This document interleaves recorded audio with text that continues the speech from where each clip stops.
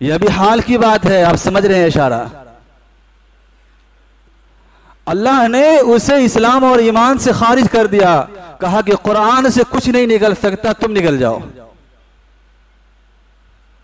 और आज ये हाल है मेरे मोहतरम बुज़ुर्गों और दोस्तों, कि वो दर दर की ठोकरें खाने पर मजबूर है। कहीं पना नहीं, कहीं जाए मलबा और कहीं जाए मलजा उसे नसीब नहीं हो रहा। क्योंकि वह इन्ना लहुल हाफिजून अल्लाह ने अपने इस किताब की हिफाजत की ज़िम्मेदारी अल्लाह ने खुद अपने जिम्मे ली है। और वो हिफाजत कैसे कर रहा? उसकी हिफाजत क्या है? ईमान वाले के छोटे छोटे बच्चों के सीने के अंदर कुरान को उतार रहा। छह साल का बच्चा हाफिज कुरान, आठ साल का बच्चा हाफिज कुरान, दस साल का बच्चा हाफिज कुरान जो उम्र, लहवो लाइव और खेल कूद की होती है, गफलत और बेतवजही और लापरवाही की उम्र होती है, अल्लाह तबारक ताला ऐसी उम्र के अंदर उस बच्चे का इंतखाब करके अल्लाह तबारक ताला उसके सीने के अंदर कुरान डाल के उसकी हिफाजत कर रहा तो जिस मुकदस किताब की हिफाजत खुद अल्लाह करे मेरे मोहतरम बुजुर्गो, दोस्तों, उसके अंदर कोई रद्द बदल नहीं हो सकता।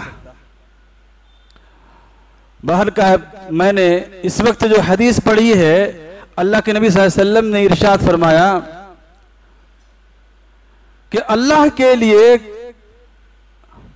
लोगों में से कुछ उसके अहल और उसके खास लोग हैं, उसके घर वाले हैं। अहल बोलते हैं घर वाले को। यानी वो अल्लाह के घर वाले हैं। अल्लाह का कोई घर नहीं है। अल्लाह सबको घर देता है, अल्लाह का कोई घर नहीं। वह अर्श के ऊपर मुस्तवी है। और रहमान अल अर्श इस्तवा। वह अर्श के ऊपर मुस्तवी है। अर्श उसका कैसा है किसी को पता नहीं। फरिश्ते उसे उठाए हुए हैं।